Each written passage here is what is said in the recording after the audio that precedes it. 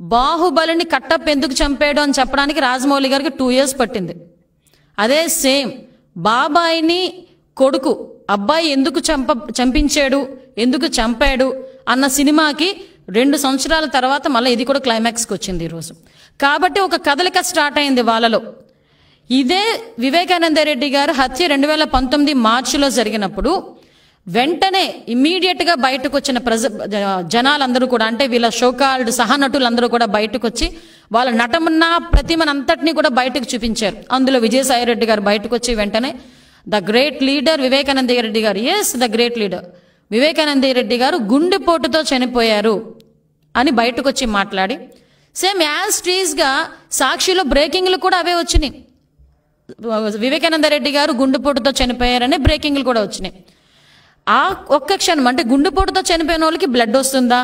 బాత్రూంలో బ్లడ్ ఎందుకుంది?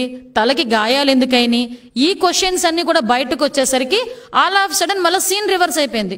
మళ్ళా సహనటుల తాలూకా డైలాగులు మారిపోయినాయి. వెంటనే ఏమని మాట్లాడారు బయటకు వచ్చి? నోనో వివేకానంద రెడ్డి గారిని రాజకీయంగా హత్య చేశారు. ఆయన రాజకీయంగా హత్య గావింపబడ్డాడు. దీని మీద సిబిఐ ఎంక్వైరీ కావాలి. మా బాబాయ్కి ఎవరైతే హత్య చేశారో వాళ్ళకి శిక్ష పడాలి. అంతవరకు కూడా ప్రభుత్వం మీద మేము ఒత్తిడి తీసుకొస్తామని చెప్పి ఆ రోజు సిబిఐ ఎంక్వైరీ కోరడం మాట నిజమా కాదా జగన్మోహన్ రెడ్డి? ఆ రోజు అతనికి హైదరాబాద్ నుంచి కడప వెళ్ళేదానికి తన సొంత హెలికాప్టర్ ఉంది.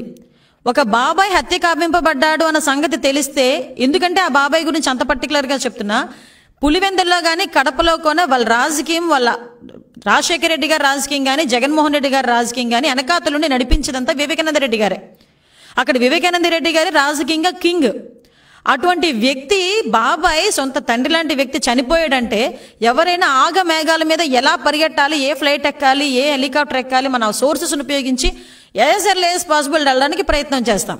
కానీ ఇక్కడ మన మహానటుడు పది గంటలు కారు ప్రయాణం చేసి కడపల్లి కూర్చున్నాడు.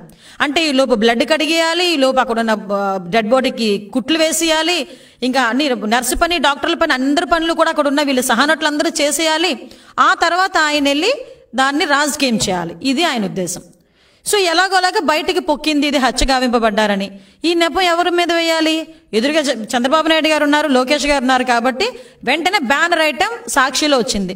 నారాసుర రక్త చరిత్రను ఏదో సంథింగ్ వేసుకున్నారు వాళ్ళు ఆనందపడ్డారు వాళ్ళ తాలూకా ఆ, ఉక్రోషాన్ని వాళ్ళ తాలూకా ఏదో సైకో ఆనందాన్ని వాళ్ళు పొందారు. అయితే ఆ రోజు సిబిఐ ఎంక్వైరీకి వేయమని చెప్పి ఆ రోజు వివేకానంద రెడ్డి గారు మృతదేహం దగ్గరికి వెళ్ళి ఇటు సునీతమ్మని అంటే వాళ్ళ చెల్లిని ఇటు తమ్ముణ్ణి నుంచోబెట్టుకొని మేమిద్దరికి చెప్తున్నా వీళ్ళకి న్యాయం జరగాలి మా బాబాయిని హత్య చేశారు ఈరోజు వాళ్ళు ఎవరైతే ఉన్నారో దోషులు వాళ్ళని కఠినంగా శిక్షించాలి సిబిఐ ఎంక్వైరీ వెయ్యండి అని చెప్పి చెప్పడం వాస్తవం కాదా? పాపం పిచ్చిమా తల్లి సునీతమ్మ నిజంగా మా అన్నయ్య అన్యాయం న్యాయం చేస్తాడేమో నిజంగా మా అన్నయ్య నా గురించి వెనకాతలు నిల్చుంటాడేమో నిజంగా మా అన్నయ్య నా తండ్రికి జరిగిన ద్రోహానికి అన్యాయానికి శిక్ష పడేటట్టు చేస్తాడేమో అవతల వాళ్ళకని నమ్మి రెండు వేల పంతొమ్మిది పంతొమ్మిది ఎలక్షన్స్కి నిజంగా ఆవిడ ఆవిడ చేయాల్సిన ప్రతి సేవ ఆవిడ చేసింది. కట్ చేస్తే ఎంతైనా ఊసరి వెళ్ళి కదా? ఊసరి వెళ్ళి పరిస్థితి ఎలా ఉంటుందంటే సిచ్యువేషన్ తగ్గట్టు రంగులు మారుస్తుంది.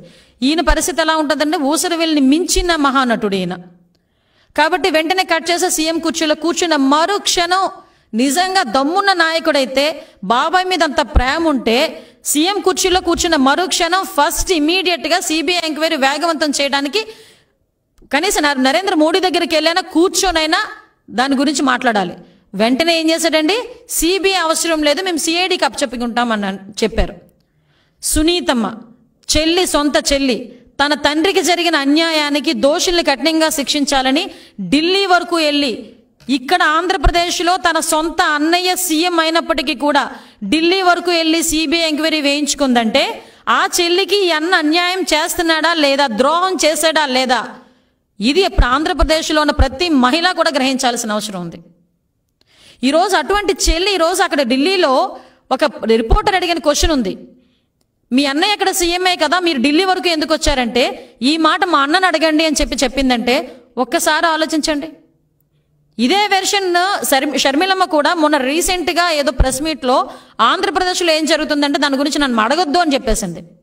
అంటే ఒక అన్నగా ఇద్దరు చెల్లెళ్ళకి ద్రోహం చేసి ఇద్దరు చెల్లెలకి కూడా న్యాయం చేయలేని ఇద్దరు చెల్లెలకి కూడా రక్షణ కల్పించలేని ఒక అసమర్థమైన సీఎం పొజిషన్లో ఉన్న అన్న మీ అందరికీ అంటే రాష్ట్రంలో ఉన్న మహిళలందరికీ కూడా అండగా నుంచుంటాడు రక్షణ కల్పిస్తాడు న్యాయం చేస్తాడని ఎలా మనం ఊహించుకుంటాం ఎలా అనుకుంటాం? ఒక్కసారి మనందరం కూడా ఆలోచన చేసుకోవాలి కదా ఈరోజు? తన సొంత చెల్లెలకే ద్రోహం చేసిన వ్యక్తి నీకు నాకు ద్రోహం చేయడని ఎందుకు అనుకోవాలి? నీకు నాకు న్యాయం చేస్తాడని ఎందుకు ఆలోచన చేసుకోవాలి? దానికి పైగా వాళ్ళు ఎన్ని మాటలు మాట్లాడారండి వాళ్ళు బయటకు వచ్చి చంద్రబాబు నాయుడు గారే చేశారు ఆల్ చేశారు. మొన్న రీసెంట్గా అసెంబ్లీలో కూడా ఏదో భలే నటించాడబ్బా నాకు అర్థం కాదు.